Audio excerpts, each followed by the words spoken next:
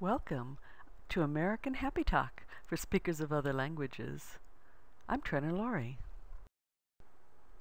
The nuances of American English are different even from British English uh, or English that you'll learn from any other country.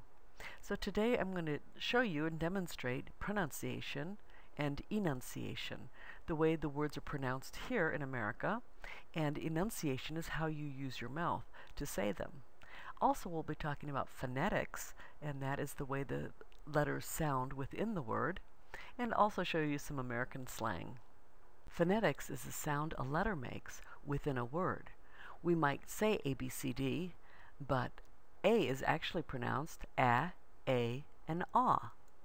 For example, abstain, acorn, and awesome, A, A, Ah. That's phonetics. B is b, like baby. C is k, s, like conjure and cinema. K, s. And D is d, like day. That's the phonetics for this session.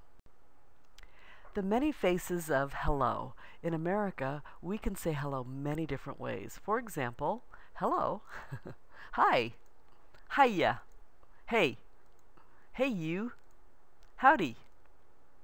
Howdy's a little less formal, obviously. Howdy do, even less formal. It's kind of fun and whimsical. Good morning. Morning. What's up? Sup? How's it going? Well, hello.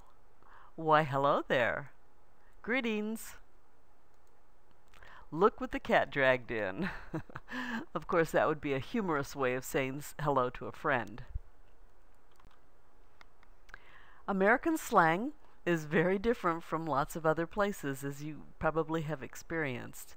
For example, writing code is a piece of cake. It doesn't really have anything to do with chocolate cake. It just means it's easy. It's simple. The whole idea was a bust. That means it didn't work. It was a failure. Don't get so bent out of shape. Another way to say that would be chill. In other words, calm down. Take it easy. I almost fell asleep at the computer after pulling an all-nighter. That means they worked all night. Let me have a go at it. That means give me a chance to try it. I think he's a nut. Or, I think he's a doofus. Or, I think he's a goof. Those are all ways of saying I think the person is silly. This is what I call unhappy talk. This is tricky pronunciation and enunciation. So these are words that usually trip up speakers of other languages. Vegetables. It's not vegetable here. We just say vegetables. Vegetarian. Veggies. Thought. Though. Think. And here's your tongue twister for today.